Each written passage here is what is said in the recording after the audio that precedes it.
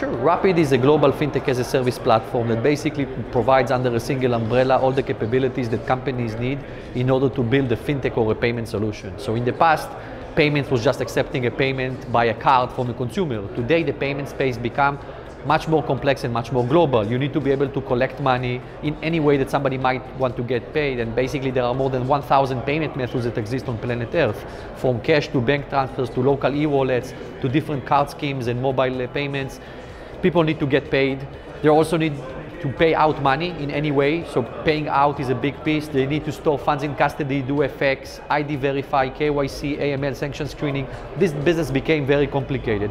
And Rapyd provides a single platform that provides you all these capabilities as a merchant. You can connect to this platform and actually build on top of us any type of application that you would like and actually do it globally because we operate across 105 countries. So that's the beauty of what we do. We basically turn every customer that uses Rapyd becomes a local.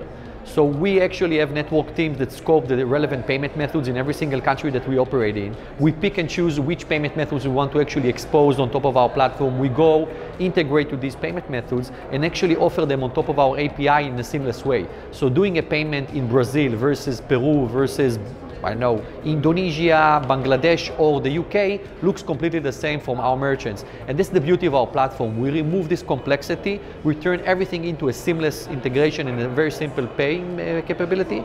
And that's all the story of Rapyd.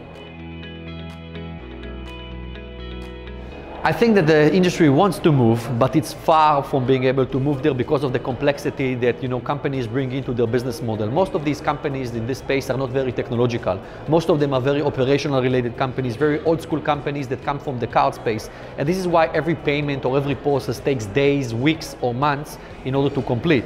And what we bring in Rapyd is actually, I think, the first ever pure technological platform to deal with this type of payments. We are actually a tech company. 70% of the workforce is R&D and product. And you know, almost anything that we do is fully automated, from the onboarding to the integration to the reconciliation. So you can be onboarded into our platform and up and running in less than one day.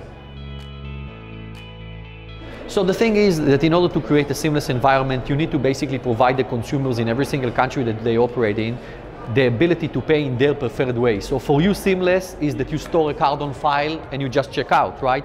But in Indonesia, that doesn't mean seamless. He actually wants to click twice in order to confirm the payment. And in Mexico, they actually want to go to the cash point. So the definition of seamless in Europe versus other countries, and even in the US, is different. And the Key thing here is to provide the seamless experience locally in every country. So when you are a global merchant and you want to do business in Mexico, Brazil, Indonesia, and Thailand, you will provide the local seamless experience for the consumer and will not try to force on him what you think is seamless. So I think the conference is amazing. You know, it, it's not one of these huge conferences of 60,000 people. It's you know much smaller one, but it's very productive because you have the key people from the you know customer perspective and partner perspective always smart people in the space exchanging a lot of knowledge some very interesting you know uh, panels that are going on here and I'm super excited to be here